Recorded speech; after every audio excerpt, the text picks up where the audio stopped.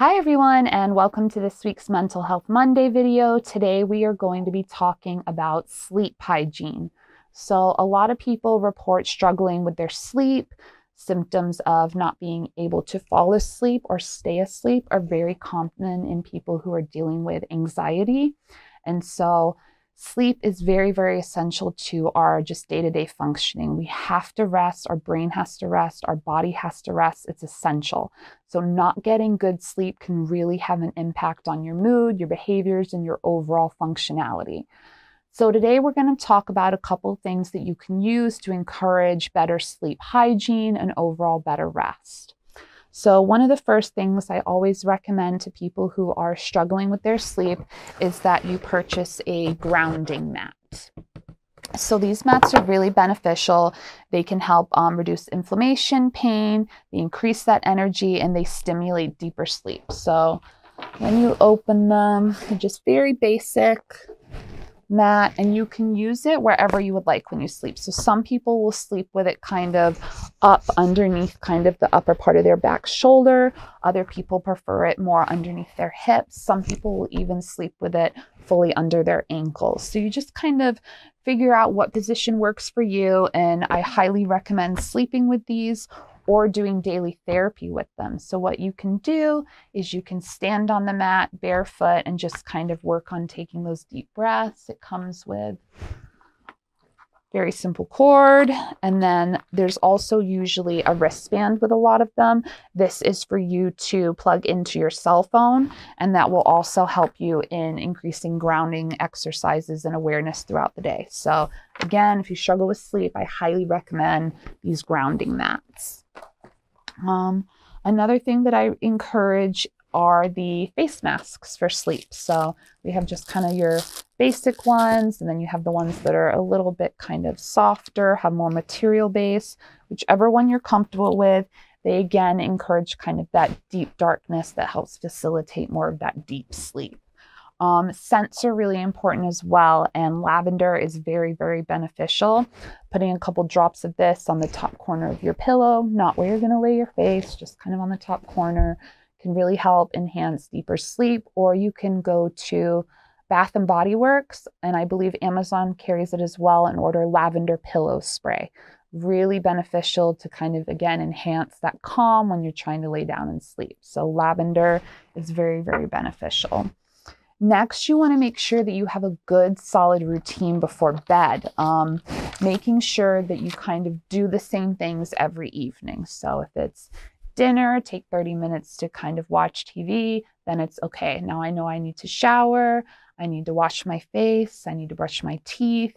Maybe it's time for me to start turning off some of the lights in the home. And it's also time for me to start stepping away from that screen time. Ideally, we want to disconnect ourselves from the screen at least 45 minutes before we lay down to try and go to sleep. Looking at monitors just enhances that part of the brain and keeps it awake. And it's very difficult to go from looking at that to shutting it off to immediately sleeping for some people. So, again, really be mindful of your screen time. Um, making sure that you pay attention to when and what you eat before bed. So, some people, if they eat within an hour before bed, they can feel that inner discomfort and that can aid in them not getting sleep. So, just be mindful of making sure that you eat, you know, two hours before you lay down. If you notice the closer that you eat, the more you're feeling that.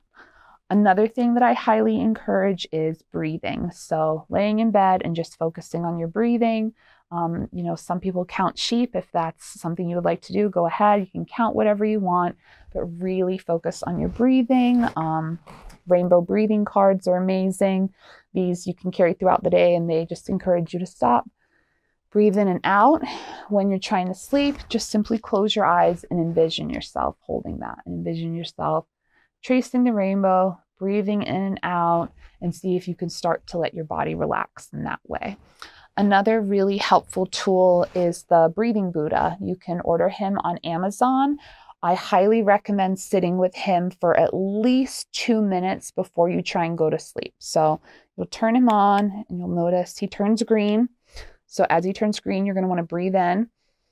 And then when he turns purple, you're going to want to hold that breath. And then as he turns blue, we want to release.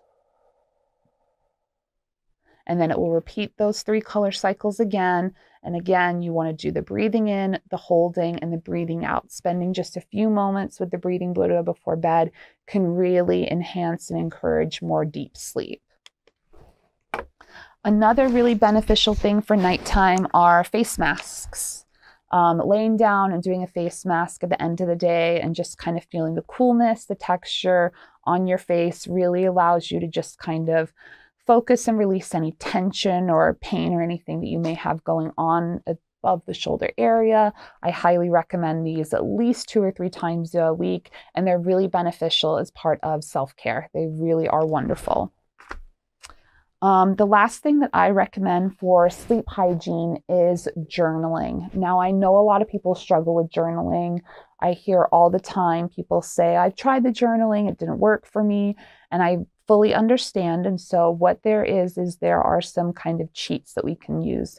So instead of sitting down and writing Dear Journal and feeling like you have to put together this paragraph that makes sense, draw what comes to mind. So some people find it really beneficial to just kind of open a book and just start writing sentences of whatever's on their mind. So I'm feeling frustrated. Work didn't go well today. I'm angry at this person. Whatever it is that you have to express, you're expressing it for you. So it doesn't have to flow perfectly and it doesn't even have to make sense as long as you're releasing it from your being.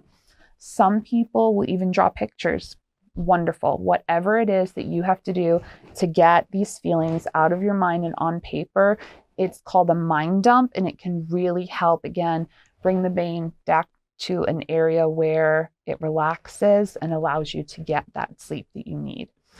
So, again, if you struggle with sleep, I highly recommend getting the grounding mat and, and using this as part of your daily sleep hygiene. Um, the lavender, the face masks are very, very important to creating an atmosphere where you can enhance your brain to feel that calm. Focus on your breathing. Make sure you get face masks and just really make sure that the area that you're sleeping in is comfortable make sure that it's cool enough or warm enough, whatever it is that your body needs to feel at rest, that's what we want to make our sleep space look like. Okay, that's it for today. I hope you guys have a wonderful rest of the week and don't forget that mental health matters.